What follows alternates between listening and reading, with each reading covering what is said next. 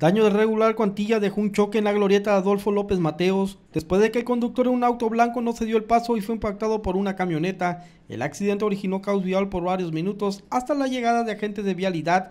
Los involucrados llegaron a un arreglo.